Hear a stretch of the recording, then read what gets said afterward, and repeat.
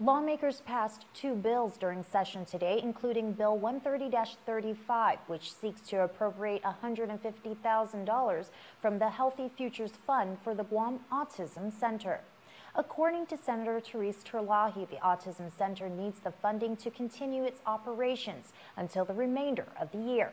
Despite the funding shortfall, Terlaje said the center is doing its best to respond to the needs of its clients and their families. In fact, she says the center continues to reach out to families, conduct parent trainings, and even explore telehealth options for its clients. During sessions, Terlaje also outlined the reasons why lawmakers should vote favorably on the bill. I want to reemphasize the, um, the importance of passing this legislation.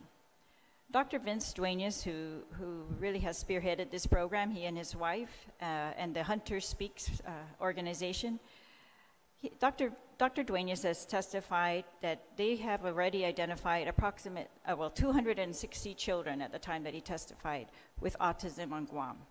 But almost everyone else who has testified regarding how many children there are with autism on Guam, they all seem to be in agreement that the estimate of 260 is very low, and that there are just children who are not being diagnosed or, or receiving services at this time.